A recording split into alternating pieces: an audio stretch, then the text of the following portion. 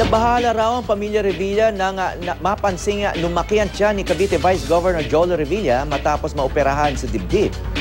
Sa panayam ng unang hirit sa talent manager ni Jolo na si Lolit Solis, ikinwento niyang ah, agad nilang tinawag ang mga doktor nang ah, mapansing may kakaiba sa tiyan ng vice-gobernador. Bago raw kasi nito, sumuka ng dugo si Jolo. Ikinwento rin ni Solis kung paanong umiyak na parang bata si Jolo nang makita ang amang si Senador Bong Revilla.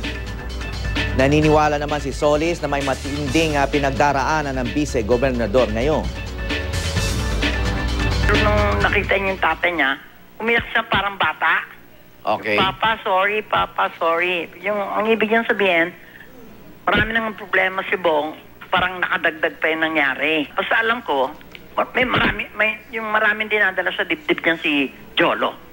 Kitang-kita mo talaga meron siyang upset siya o talaga emotionally parang parang parang mahina yung emosyon.